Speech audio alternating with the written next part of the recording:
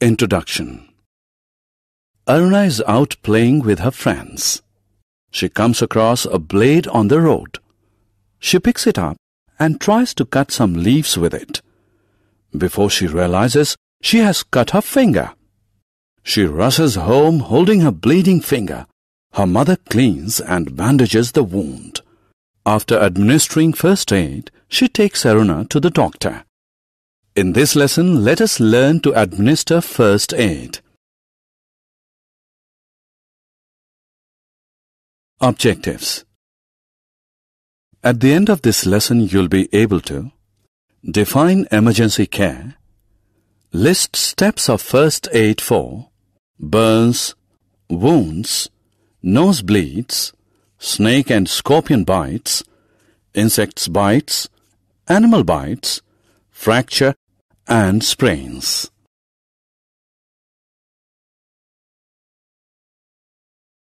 Emergency care An old man was sitting in the park. Suddenly he feels severe pain in the left side of chest. He might have a heart attack. What he needs is the immediate care. Any immediate care that a patient requires in order to save his life or prevent a permanent injury is called emergency care. Severe accidents, heart attacks, asthma attacks, etc. require emergency care. Let us now learn some home remedies that can be used to treat small injuries. First aid for burns. A burn is an injury to the skin resulting from a direct contact with an extremely hot substance, electricity or chemicals. When a person suffers burn injuries, then we should pour cold water over the burnt part or place ice over it. Wipe with dry cloth and apply antibiotic ointment on the burnt area.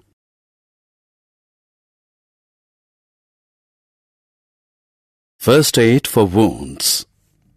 Wound is an injury that is caused by a cut, tear or puncture in the skin. When wounds bleed, we should wash the wound with clean water and soap. Apply antibiotic ointment. Cover the wound with a bandage.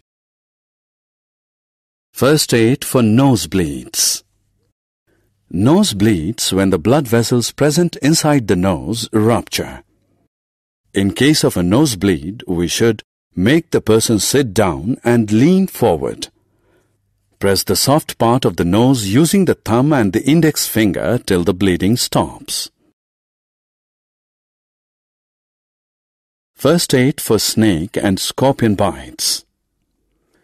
Snake and scorpion bites can be life-threatening. To prevent loss of life from a snake or scorpion bite, we should Tie a piece of cloth or rope tightly just above the wound to prevent the spread of venom to the rest of the body. Wash the wound with soap and water. Suck and spit out blood to remove the venom from the body.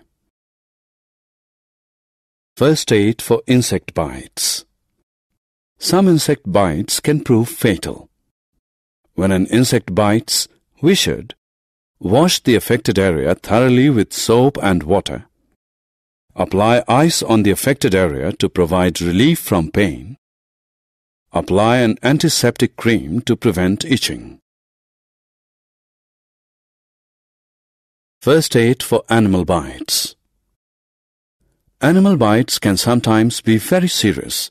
A dog or a monkey bite can even cause rabies.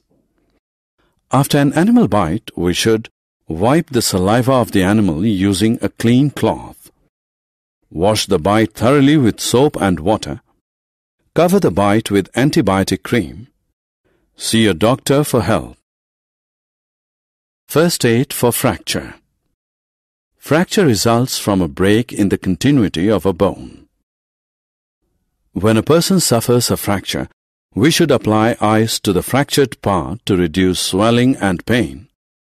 Keep the patient still and support the injured area with a splinter. Consult medical professionals immediately.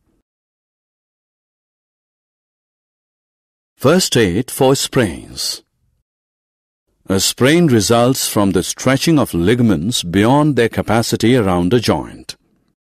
To provide relief from sprain, we should apply ice over the affected area to reduce pain and swelling, use bandage for support, place the injured area at some height. Summary Let us summarize what we have learned. The immediate care that a patient requires to save his life or prevent a permanent injury is emergency care. A burn is an injury to the skin resulting from a direct contact with an extreme hot substance, electricity, or chemicals. Wound is an injury in which the skin is torn, cut, or broken. Nosebleeds are caused by rupture of blood vessels inside the nose. Insect bites can cause a severe allergic reaction. A fracture results from a bone. A sprain refers to stretched ligaments and blood vessels around a joint. Small injuries can be treated at home with home remedies.